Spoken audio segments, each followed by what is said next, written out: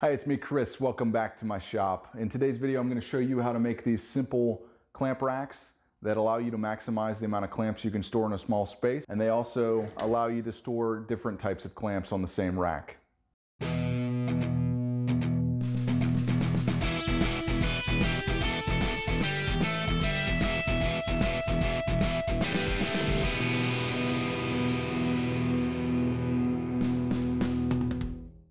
Now, I'm providing a free template for this project on my website, so make sure you check out the link below.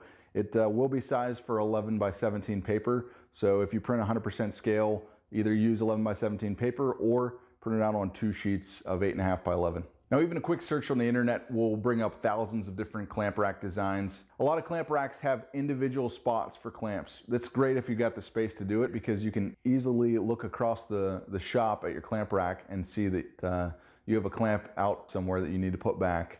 Uh, what I've tried to do here is maximize the amount of clamps that can be stored in the smallest possible space. So I store mine in a line out from the wall. This has a couple benefits to it. One, when you're using clamps, you rarely use just one. So I can come up here and grab a handful of clamps and take them over to the glue up. Similarly, when I'm cleaning up, it's easy to just hang them up one-handed. Uh, the second benefit to this is uh, the different types of clamps that you can store on a rack like this. It's not customized to one specific clamp. Here I've got different styles of clamps. I've got F-style clamps with long bars. I've got pipe clamps. I've got a little spring clamp holder. And very soon I'll have some parallel clamps that I'm making that I'll actually store on the same style clamp rack. So it's just a very versatile solution rather than being very custom. You do have to cut out the profile, but you can do that a number of ways. You could use a jigsaw, bandsaw. Uh, I use a scroll saw for this, um, or you could even use a coping saw and cut them by hand.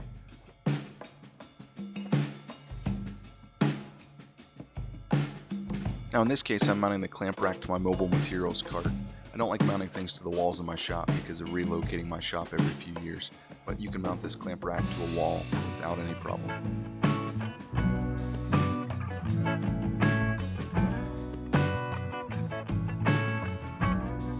After measuring and deciding the amount of clamps I'm going to store, here I am laying out the profile of the clamp racks. The sides are made out of half inch Baltic birch and the legs are two and a quarter inch wide for both the top and the side leg. If you want to save yourself some layout time, you can simply go to my website and download the free template, which has uh, two legs on it. You can just lay it out on a sheet of plywood and cut it out.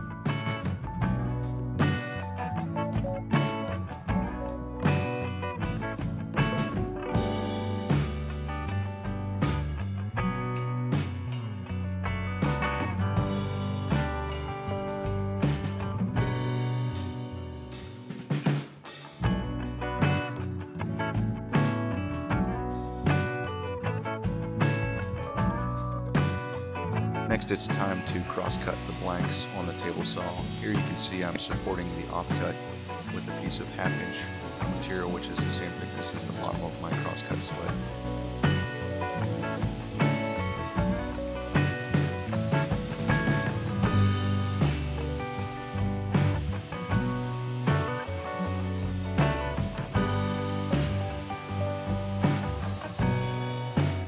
After cutting the square sides of the blanks on the table saw, I use the scroll saw to cut out the profile.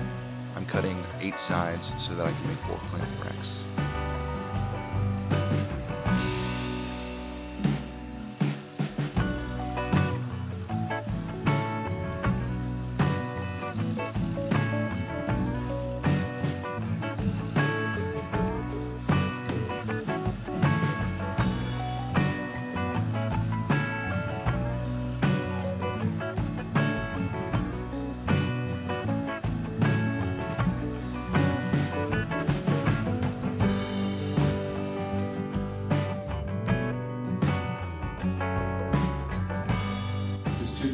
Half inch glued together. I'm gonna cut some of my center divider pieces out of this.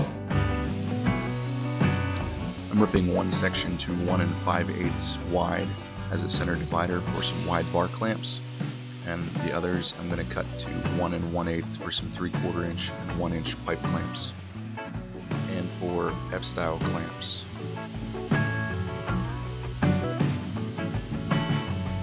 Here I am cross-cutting each center divider to the length I need in order to raise it to the height for my uh, bar clamps to raise above the material storage cart.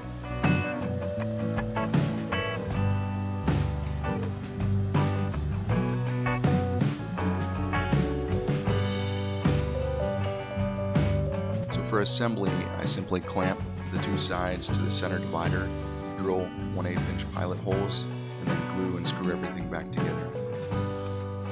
I used four screws on each side. These act as pins to help the glue joint to keep from shearing, and uh, I've been using it for several months now, and it seems plenty strong.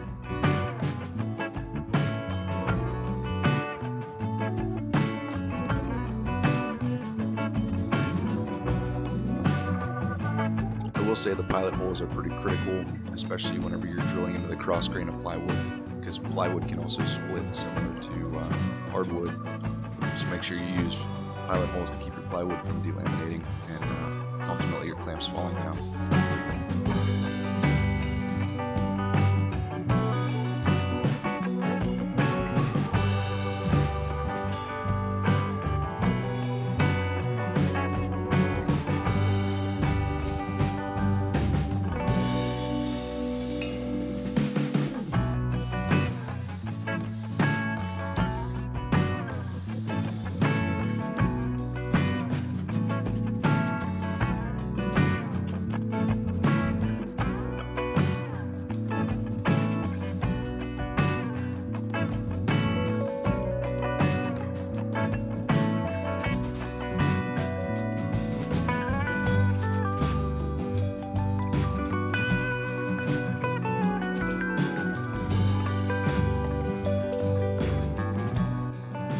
I like to use old stain and finishes is on shop projects. It gives the project a little bit more durability, protects it from moisture, and uh, this is less for look, more for protection.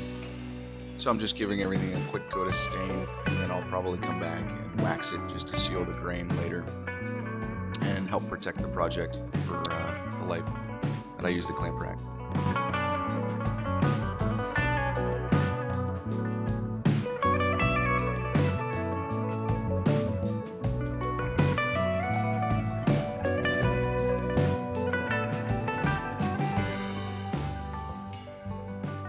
Now, obviously, clamps are, are heavy, and if you're supporting a large number of them, then this has to be built uh, out of quality materials. Now, these are glued together, and I have screws to reinforce the joint uh, and also to clamp the joint while it was drying. But uh, I made mine out of half inch Baltic birch. This half inch Baltic birch has 10 laminations in it. So uh, you may want to consider using three quarter inch plywood if uh, you don't have quality plywood on hand, just to give you that much more stiffness. Now the L shape of this is pretty critical as far as the strength of the overall design. So as your clamps are out here pushing down, it's gonna wanna rotate. So this leg, um, the longer this is, actually the stronger and the further out that uh, you can make this.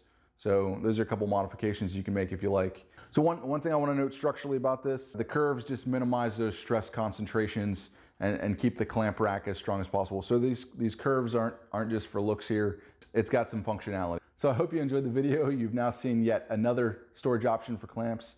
Uh, it's a little bit different take on the clamp rack. I hope you liked it. And uh, don't forget to subscribe and hit that notification bell. If you're interested in partnering with me, I've recently launched a Patreon page. Uh, I've got multiple tiers, and uh, one of the tiers even involves uh, all of my plans that I'll continue to update, and you'll just have an unlimited plan uh, library. I'll also be posting these videos uh, ad-free to that site. Thanks for watching.